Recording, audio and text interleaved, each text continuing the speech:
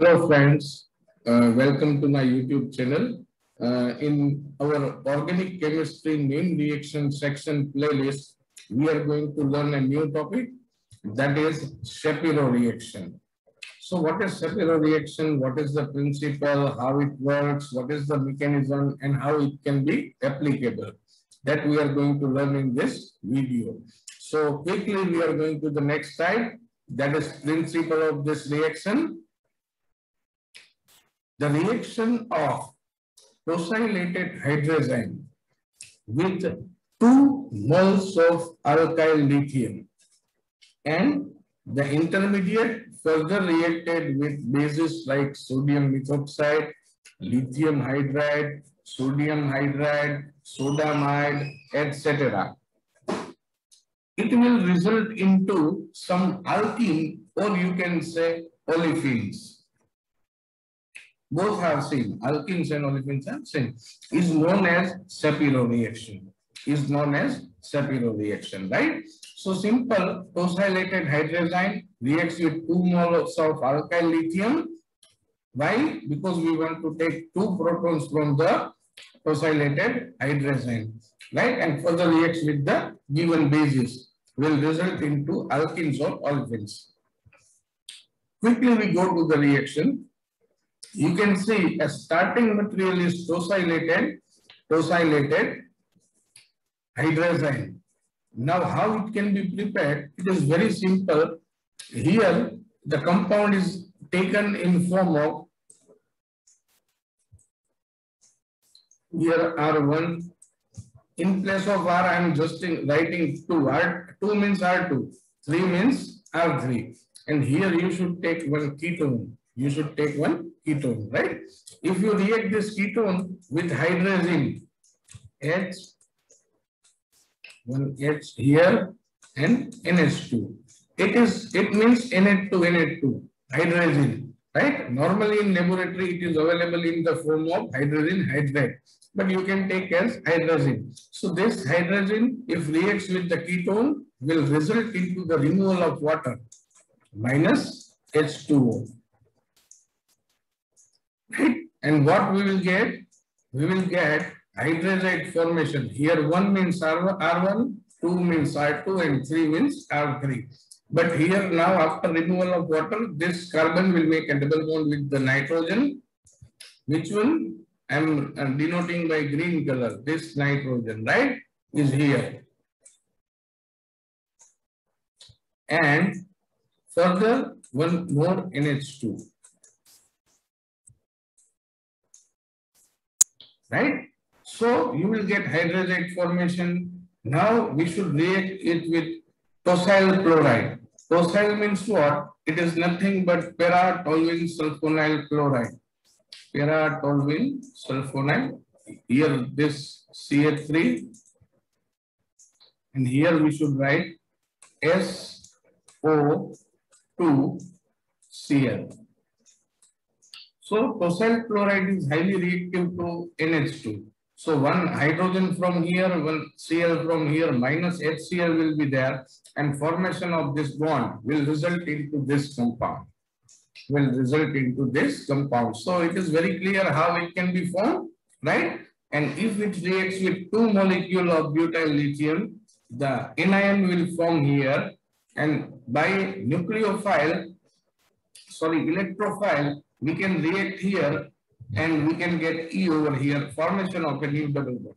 Suppose you have H, H plus, you will get the simple alkene, right? So this is the reaction for Shapiro reaction. Now how it's happening, we are going to learn by the detailed mechanism of that. So next, quickly we are going to the mechanism. You can see this is the basic structure what we took in the previous slide. You can see same structure I drawn here, right? Now we are taking butyl lithium. As we know, butyl lithium always get ionized. Li positive and Bu minus, butyl minus. Why? Because carbon of butyl connected to the lithium is more electronegative. It will take electron and Li will always have positive charge. Li will always have positive charge, right? Now The butyl will donate its electron to the hydrogen. So hydrogen may have little more electron density. So it will donate its electron to the nitrogen because nitrogen is more electronegative. So the nitrogen may have now negative charge. Nitrogen may have now negative charge and loss of one hydrogen on its own position. Same thing we can do by another butyl uh, lithium. We can take another butyl lithium as we wrote in the principle. We have to utilize two butyl lithium. As I told, Li will be always positive and butyl will be negative. Why? Because it are more electronegative in comparison with lithium, right? So we may have butyl negative. It has electron, so minus charge. It will donate electron to the hydrogen present on our carbon. You can see one hydrogen is already present here, right? So this hydrogen will gain electron from the butyl minus and the bond uh, the bond will donate its electron to the, this carbon. Shifting of this bond will happen. The H plus, it will go with butyl minus, and this carbon gains electrons with negative charge. Right? Now this nitrogen is more electronegative, so it will take electron from here.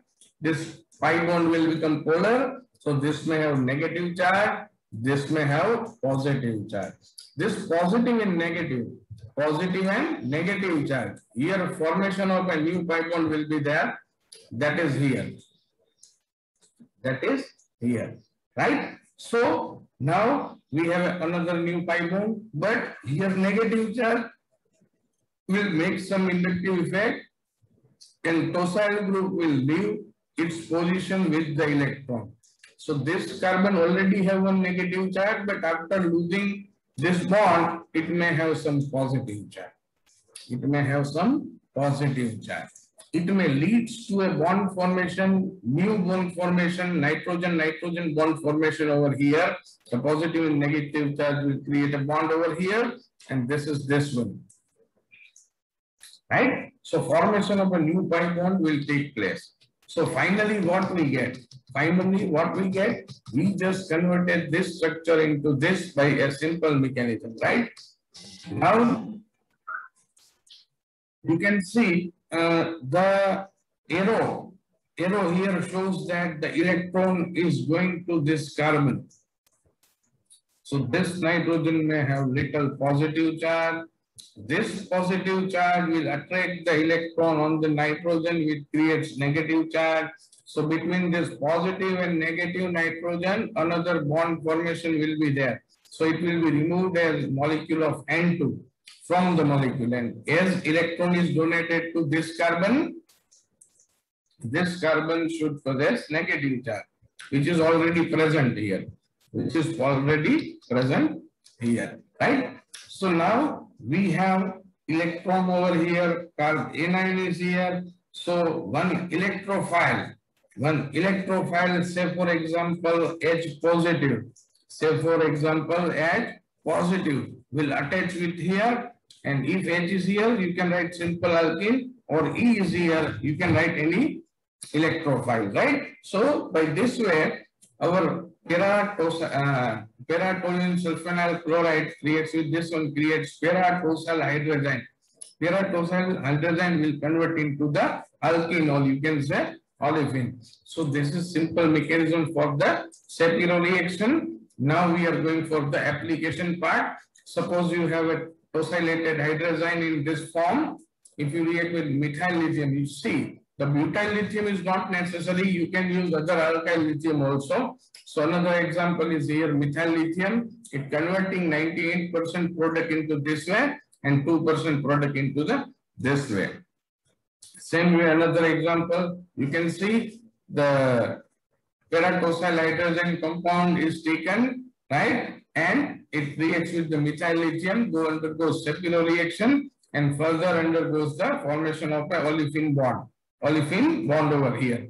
So which is our focus area? This is our focus area, right? So by this way, reaction can convert into the olefins to the paratosyl hydrazine or you can take any ketones as a starting material and get converted into the alkenes. So this is all about the Shapiro reaction. I hope you get everything in about that. In the next video, we will learn about a new name reaction. So be ready for the next lecture. We will see new name reaction into that. And thank you very much for watching this video very patiently. Hope you learned a lot from this.